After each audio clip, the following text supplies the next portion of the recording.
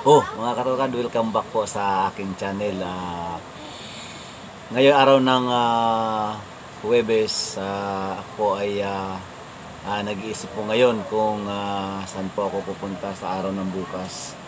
Ah, pinag-isipan ko na pumunta nga sa ano sa CCP complex po kasi doon sa lugar na yon ay ah, ah, doon po ako namimingwit.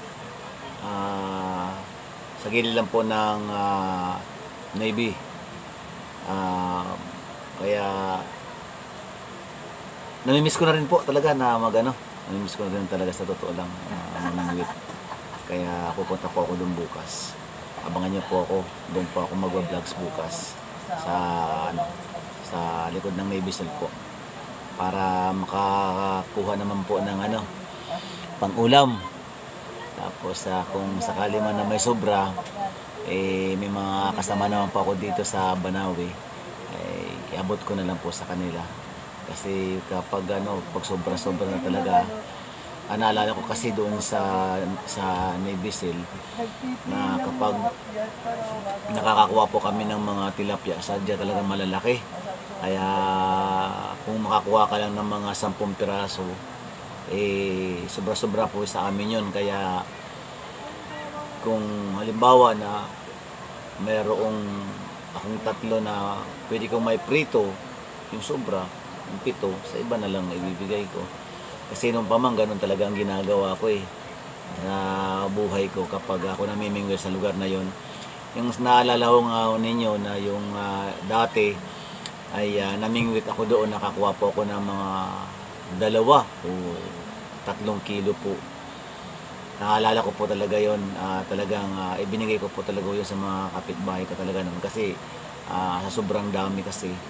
Kaya gusto ko uli, ulitin kasi mga ilang ano na mga ilang ah, nasa isang taon nang nakalipas. Isang taon na nakalipas na din na po ako namimingwit doon Ah, sa ngayon naalala ko kaya sa araw ng bukas ko talaga pupunta po ako talaga roon. Mamimingwit ko talaga ako. Susubukan ko ulit ko talagang ah, ah, dumami pa talaga yung mga tilapia doon sa yung mga bangus. At ah, sa susunod na pag ah, bablogs ko ay ah, kukuha po talaga ako ng ah, magagandang kuha doon. Kailangan po talaga yung ah, mayroong kagat talaga ang mga tilapia. Kaya sa araw ng bukas, mga katukad, ah, abangan ho ninyo. Basta, pupunta ako doon.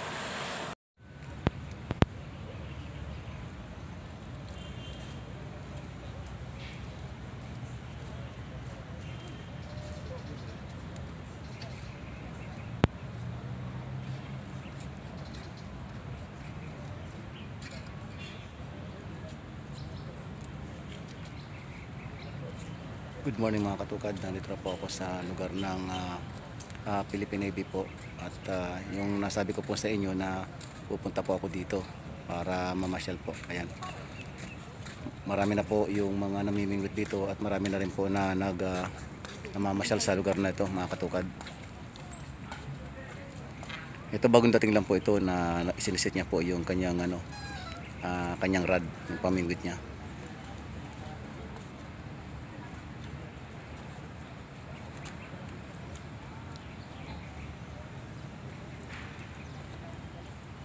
Tapos dito po yung mga nanonood po dito na nag-aabang po na may mahuli po yung ah, mga nawiwing bintuwa dito.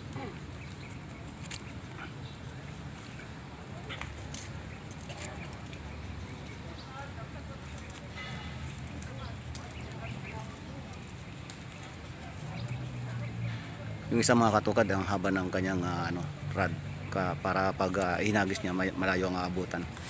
Pero mga ilang minuto na po ako dito, wala pa po siya nakukuha na maka, binibilang ko po ang kanyang hagis, mga nasa ah, kulang-kulang sampu na, pero wala pa rin kumakagat mga katukad.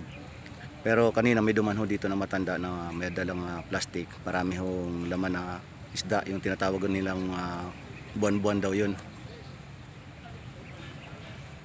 Yung mga namimingwit dito mga katukad, ah, simula po dun sa pinakadulo hanggang doon. No? Nakikita po ninyo na sabay-sabay po sila. Ah, naghangad po sila na makakuha ng ah, isda o makabingwit ng isda. Ayun, may nakuha na ako sa isa katukad sa may pinakadulo. May nakuha na isa. Ayun, kitang-kita ninyo po yun.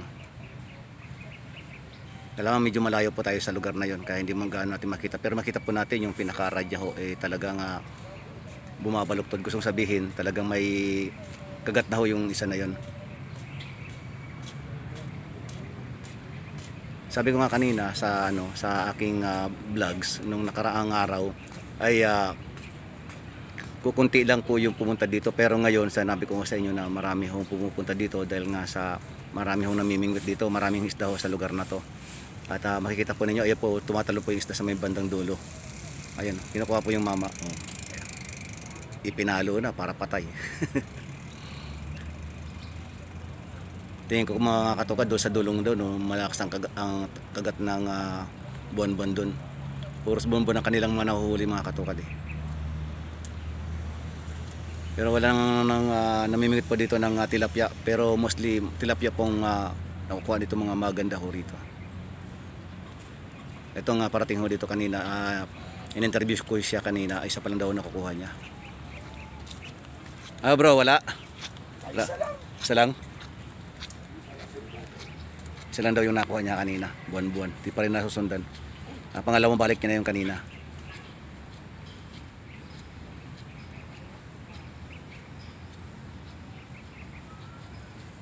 dito mga katukad kapag ah, dumating po dito yung mga buwan-buwan saka yung mga tilapia talagang ah, maraming kagat ho dito ang nga lamang tingin ko sa may ah, nandun po sila sa may ah, dulo yung mga isda ngayon hindi pa sila pumupunta ho rito kasi may oras po yan ang pagpunta ho dito pagilid kaya pag natsambahan po ninyo nila na gumilid po yung mga isda ho dito talaga marami ho makukuha ho dito Katulad din po dati, nung ako namiminggot ho dito, ah, umuwi po talaga ako, may dala-dala ako dalawa o tatlong kilo po na tilapia dito. Talagang maraming kagat ho dito. Kung pang ulam lang, talagang ah, sobra-sobra na ho talaga mga katukad.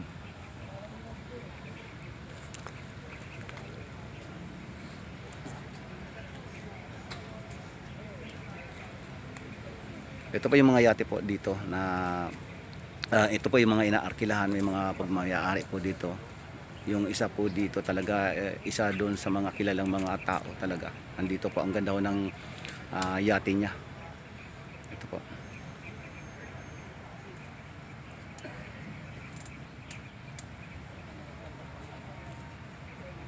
Sayang sana mayroong uh, mamingit po ng tilapia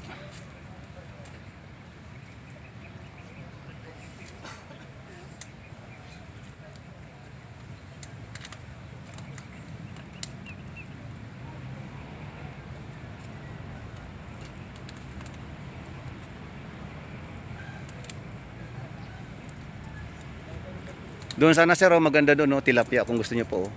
Malakas ang kagat ng tilapia doon. Nga lamang ah, wala wala yatang bantay na mga ano doon eh, Navy. Malakas ang kagat ng mga tilapia doon, oh, sa bandang dulo. Dito sa may tama. Alangan, huwag mo yan dyan.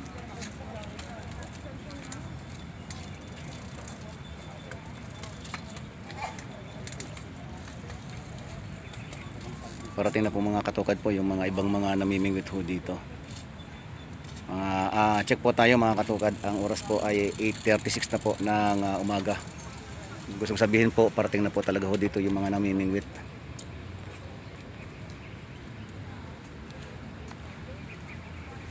Dito po mga katukad, kapag pumunta po kayo dito, kapag may dalaw kayo pamingwit, talagang nakaka-refresh po talaga.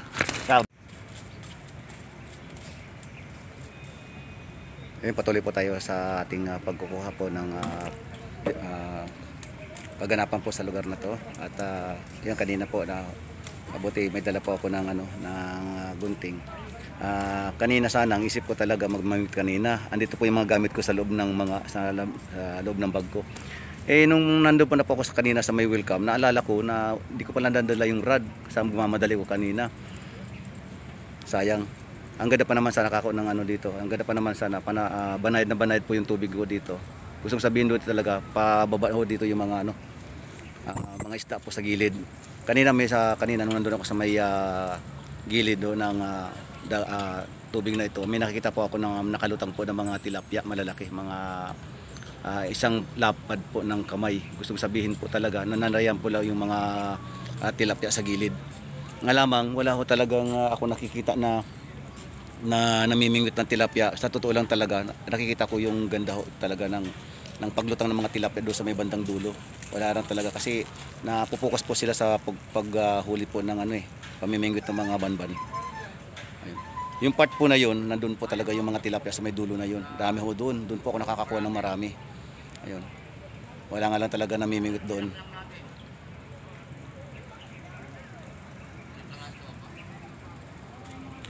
Kaya marami na po na dumating po na mamimingwit po ngayon. Mga bandang alas 10 po, sigurado ko na napakarami po.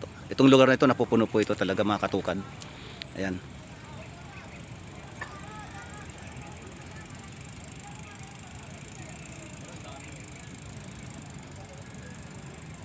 Dumating po ako kanina dito alas 8. Ah, tinititigan ko po itong isang mamimingwit hanggang ngayon ah, 8.40 na po nasa 40 minutes na po ako dito na nakaupo wala pa akong nahuhuli siya kahit isa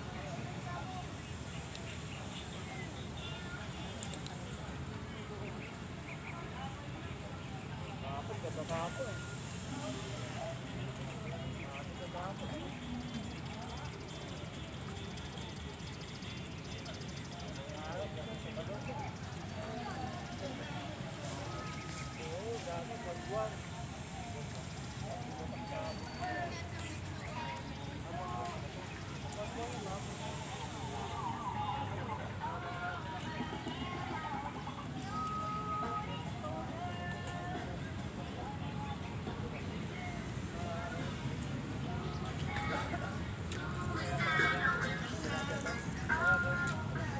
Kaya mayroon naman isa kaba, katugad na dumating na isang mamimingwit. Mamaya po yan. Doon po, marami na po doon sa may pinakadulo. Ah, dito, ah, pangilang-ilang pa lang. Pero pa, maya-maya ho yan, magbilang po tayo ng ilang minuto. Isang oras, mamaya makikita po dito, punong-puno na po yan. Mga umabot po ng ah, oras na alas, ayan, 8.41 tayong ah, mga katukad. Umabot po yan mga 9, sigurado po yan. Marami na po namiming ito dito. Kitang-kita nyo po yung oras po, ayan. So nasa 41 minutes na po siya, wala po siya nahuli.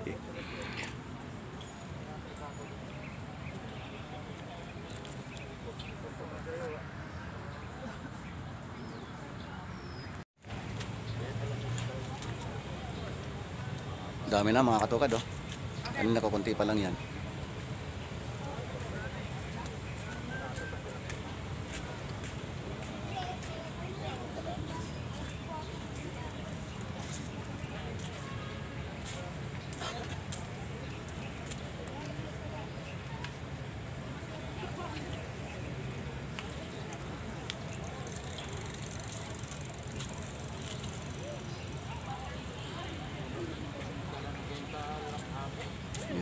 Katukad, tingin ko mga pagalingan na lang dito, pa-experience na lang kung sino talaga yung mga bihasa dito sa mamimingwit eh. Kasi may nakikita ko dito, pag po humahagas po sila, ma- malamya. Yung iba naman malalakas, pa, pahabaan na lang po, palayuan na lang po kung saan ang abot ang hagas. Kung sino po yung pinakamalayo at uh, natsamban po ng buwan-buwan, sigurado siya po yung kakagatan.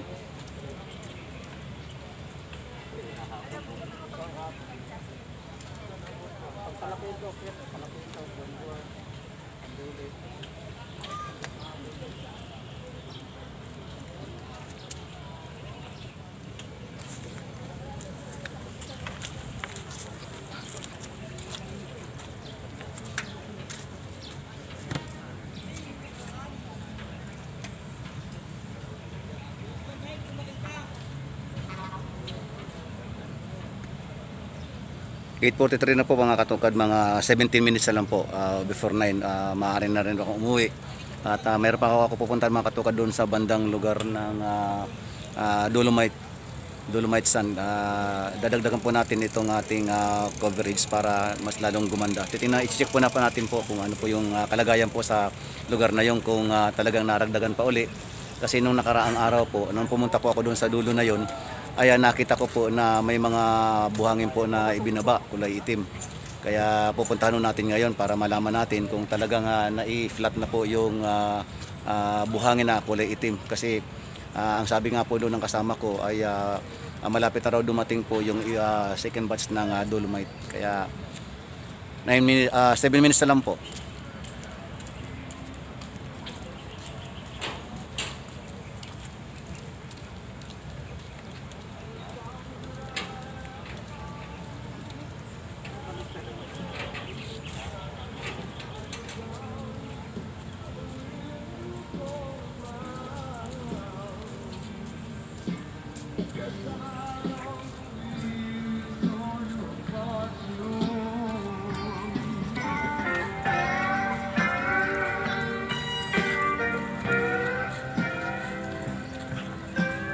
Ah, shout ko nga ah, shout out ko nga pala kay ah, Idol ah, Japper Stiper. Ah, na-prank mo po kami ha. Ah, sabi niyo po pupunta po kayo at uwi po kayo sa Mindanao pero nandiyan lang pala kayo sa Laguna. Ha, na-prank niyo po kami ha.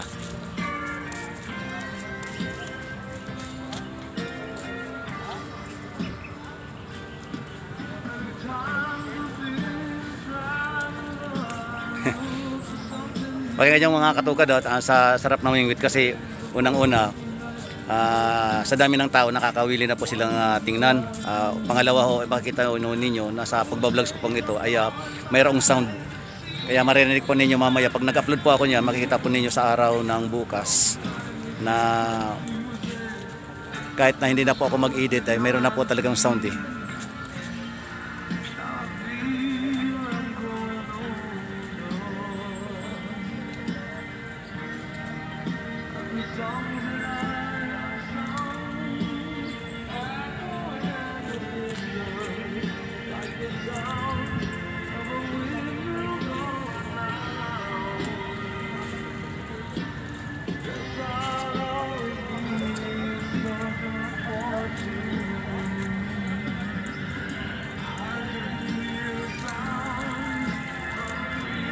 Nagsipagdagsa na po yung ah, mga namimingit po sa dulo.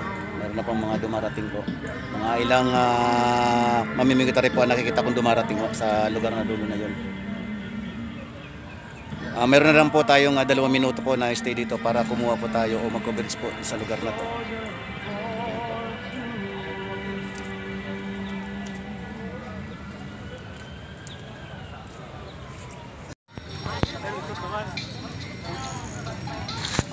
Babalik ka dyan!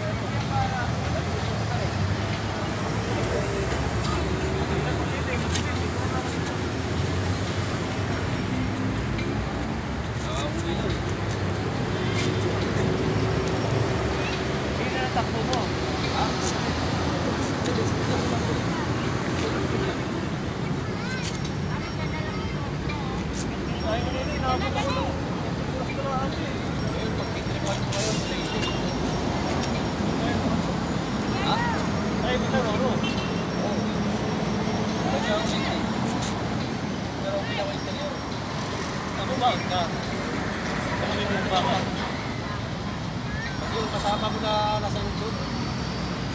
Dalag niya. Kaya tumaro na kami.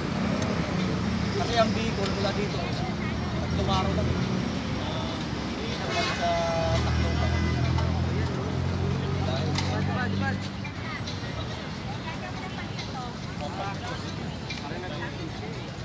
Hindi sa dosis. Okay. Hindi siya nakat. Hindi, eh, maganda nga yung bike mo. eh. Kahit masabihan yung magandang ano. Tulog mayaman. Pero ito maganda din. Makasalag ko eh. yan. Road bike eh. Road bike. Kahit hindi road bike. Basta nasa ano yan, nasa pedal. Pagpipedal ng tao yan. Yung 6 mo, talagang kaya ng giniga mo. Maganda nga yung bike mo tapos yung ano mo naman, yung station mo kulang. Malapit lang yun sa'yo, Cavite. Oh, pero may, may ano yung kang taas yun eh.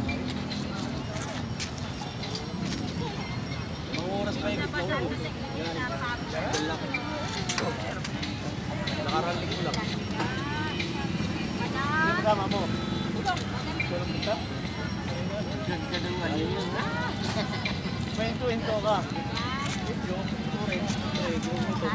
Muli mga kabayan, ah, katugad, ah, nandito ako ngayon sa ah, gilid po ng uh, Yachty Club ah, na kung saan po eh, sabi ko kanina napupunta pa ako sa lugar na to para eh, covered ko po yung ah, kaganapan dito kung may mga tao po na namamasal dito. Tama po kayo. Ah, yung mga nakikita nyo po mga katugad sa oras na ito, yung mga tao ay ah, makikita ninyo na nando sa ah, tubig. Ah, naglo, naglulumuni po sila kasi pinipil po nila yung ah, low tide po ngayon. Ayan, may mga nagbabadminton po dito mga katugad.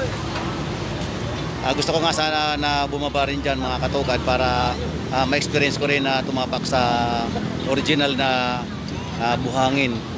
Kasi ito po talaga yung ah, lugar na wala pa talaga na tinatawag na Dolomite Sand. Ah, ayan o.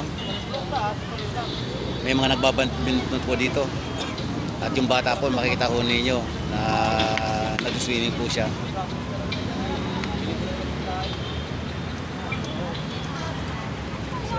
Mayroon ho dito na nag-covered po sa ano sa lugar na ito. Ah, di ko nga siya gaano kilala kung sino po siya. Ah, isa, isa- tingin ko isa po siya na mga vla- isa po siya na vloggers po. Ah, nag-covered po siya rito sa lugar na to. Mamaya pupunta po tayo mamaya sa may ah, Dolomite Sand para ah, tingnan rin po natin kung ano ang nangyayari po doon. Ah, bago nga pala ang lahat, may, mayroon ako pakita sa inyo na napakaraming ah, ibon po doon sa bandang dulo ho yun. Gustong sabihin po, kapag ah, maraming ibon, marami po sila na nakikita ng mga isda na maliliit na kanila pong kakainin. Ayan, kitang-kita po na napakarami po. Magmula po doon sa may mga batuan na yun na sa pagdapo o hanggang sa may dulo, doon hanggang sa, doon sa may mga sakyan pandagat na yun. Hanggang doon po ah, karami yung mga ibon. Ayan.